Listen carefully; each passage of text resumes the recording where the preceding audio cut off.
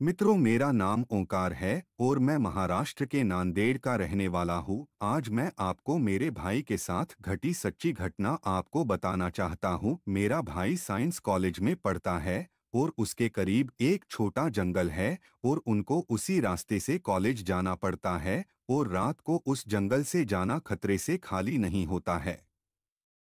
कुछ दिनों पहले मेरा भाई दोस्तों के साथ बातें कर रहा था और बातें करते करते रात हो गई और जब उसने समय देखा तो रात के नौ बजकर पैंतालीस मिनट हो गए थे। उसी जंगल में घर तक पहुँचने का एक छोटा रास्ता भी था, लेकिन वहाँ रात को कोई नहीं गुजरता था। लेकिन मेरे भाई के दोस्तों ने उसी रास्ते से जाने की सोचा ताकि जल्दी घर पहुँच जाए। उसी रास्ते में एक हनुमान मंदिर पड़ता है। जब उसके बाहर से निकले तो देखा पंडित जी बाहर खड़े थे।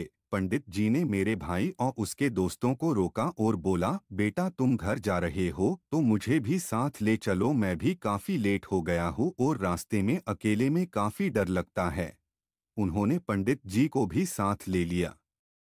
वो कुछ कदम चले ही थे कि अचानक उनको पीछे से के सफ़ेद रोशनी दिखाई दी और वो रोशनी एक बरगद के पेड़ के नीचे से आ रही थी। मेरे भाई ने पीछे मुड़कर उस रोशनी की तरफ़ जाना शुरू किया तो उनको एकदम सफ़ेद आदमी दिखाई दिया और उसकी आँखें भी सफ़ेद ही थी। मेरा भाई बुरी तरह डर गया और भागकर दोस्तों के पास आया और उनको उस आदमी के बारे में बताया। मेरे भाई के दोस्त भी उसको अब देख पा रहे थे और वो ज़ोर ज़ोर से चिल्ला रहे थे, कौन है तू? कौन है तू? तभी पुजारी जी ने हमें चुप रहने को कहा। अब वो समझ चुके थे कि वो के बुरी आत्मा है। उनको पुजारी जी ने चलते रहने को कहा। वो आत्मा उनकी तरफ़ देख रही थी, लेकिन पास नहीं आई। थोड़ी देर चलते रहने के बाद उन्होंने पीछे देखा तो पीछे कोई नहीं था। अब सभी लोगों की सांस में सांस आई। मेरे भाई के दोस्तों ने पुजारी से कई बार उस भूत के बारे में पूछा, लेकिन पुजारी कुछ नहीं बोले।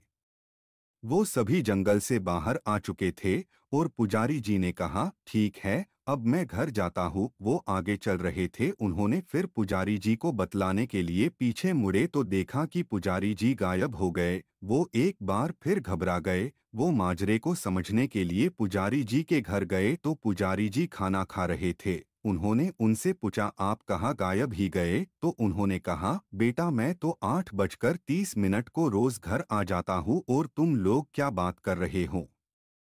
वो पुजारी से बात किए बिना डर के मारे निकल पड़े और रस्ते में उन्हें एहसास हुआ कि शायद उनको उस विपत्ति से बचाने के लिए खुद शायद पुजारी के वेश में आए थे। मेरा भाई और उसके सभी दोस्त हनुमान जी के अनन्य भक्त है।